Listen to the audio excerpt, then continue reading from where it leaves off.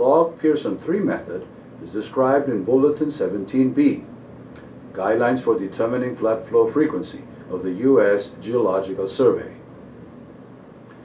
The steps in the application of the log-Pearson-3 method are the following. 1. Assemble the annual flood series X of I. 2. Calculate the logarithms of the annual flood series. 3. Calculate the mean, standard deviation, and skew coefficient of the logarithms. 4.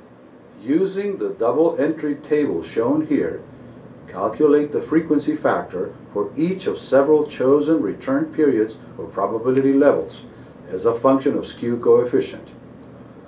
If necessary, use linear interpolation on the skew coefficient to calculate the applicable frequency factor. 5. Calculate the logarithms of the flood discharges using the following frequency formula, in which log Q sub j is the logarithm of the flood discharge j, y bar is the mean of the logarithms, k sub j is the frequency factor, and s sub y is the standard deviation of the logarithms. 6. Calculate the flood discharges as the anti-logarithms of the log Q sub j values. 7. Plot the flood discharges against probabilities on log probability paper with discharges on the log scale. 8. The log Pearson 3 fit to the data is obtained by linking the points with a smooth curve. For skew coefficient equal to 0, the log Pearson 3 fit reduces to a straight line. This table shows an example of a flood series and its calculated plotting positions. Log Pearson 3 fit to this data is shown in this table. Columns 1 and 2 show the selected return periods and associated probabilities, respectively. Column 3 shows the frequency factors taken from the table. For this example, the skew coefficient of the logarithms is c sub s sub y equal minus 0.116. Column 4 shows the logarithms of the flood discharges. Column 5 shows the calculated flood discharges. A plot of the log Pearson 3 fit for the preceding example is shown here.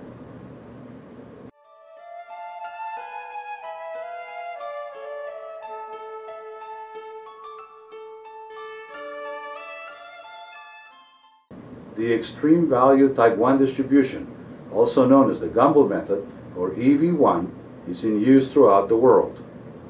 The method is a special case of the three-parameter distribution described in the British Flood Studies report. The cumulative density function of the Gumbel method is the double exponential function, in which f of x is the probability of non-exceedance. In flood frequency analysis, the probability of interest is the probability of exceedance, that is, the complementary probability to f of x, defined as follows. The return period is the reciprocal of the probability of exceedance. Solving for y,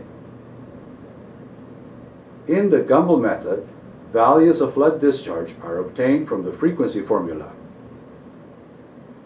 The frequency factor k is evaluated with the frequency formula as follows, in which y is the Gumbel reduced variate, a function of return period, and y bar sub n and sigma sub n are the mean and standard deviation of the Gumbel variate. The mean and standard deviation of the Gumbel variate are a function of record length as shown in this table. For k equals 0, the flood discharge is equal to the mean annual flood. Also, for k equals 0, the Gumbel variate is equal to its mean. As the record length approaches infinity, the mean of the Gumbel variate approaches the value of the Euler constant, that is 0.5572. For y equal 0.5572, the return period is 2.33 years. Therefore, the return period of the mean annual flood is 2.33 years. Solving for k, replacing this value of k in the flood discharge equation leads to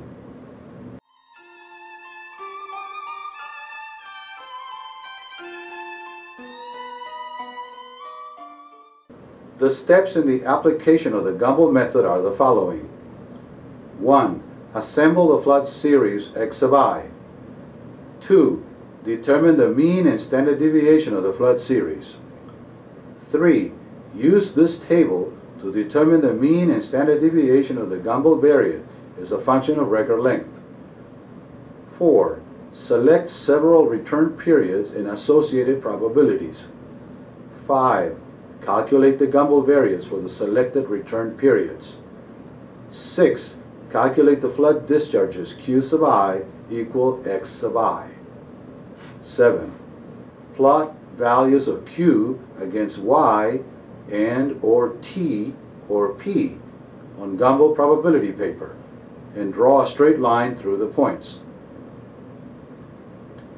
Gumbel probability paper has an arithmetic scale of Gumbel variate in the abscissas and an arithmetic scale of flood discharge in the ordinates.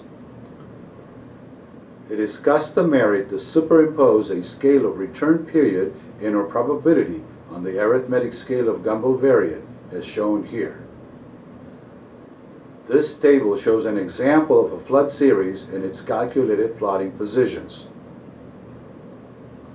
A Gumbel fit to this data is shown in this table. Columns 1 and 2 show the selected return periods and associated probabilities, respectively. Column 3 shows the Gumbel reduced variate. Column 4 shows the flood discharges. The Gringorten plotting position formula is preferred for use with the Gumbel method. The Gringorten formula is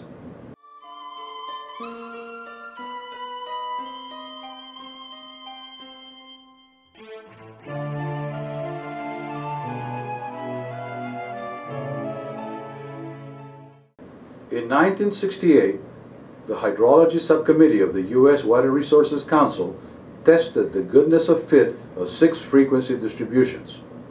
These were 1. Log normal 2. Log Pearson 3 3. Hazen 4. Gamma 5. Gumbel and 6. Log Gumbel. The study showed that the first three distributions had smaller average deviations than the other three. Since the Hazen distribution is a type of log normal, and the log normal is a special case of the log Pearson 3, the committee concluded that the log Pearson 3 distribution was the most appropriate and recommended it for general use. The British Flood Studies report of 1975 concluded that the three parameter distributions, that is, log Pearson 3 and generalized extreme value, or GEV, provided a better fit than the two parameter distributions, such as log normal and Gumbel. However, the same report noted that the use of two parameter distributions in connection with short record lengths often leads to results that are more sensible than those obtained by fitting three parameter distributions.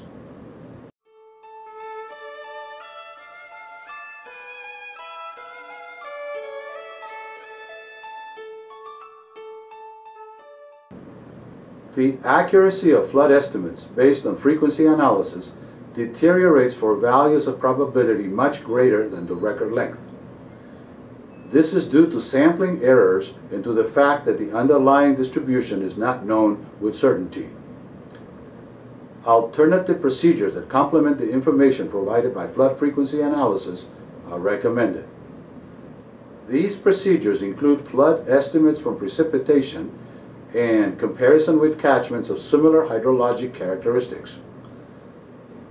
This table shows the relation between the various types of analysis used in flood frequency studies.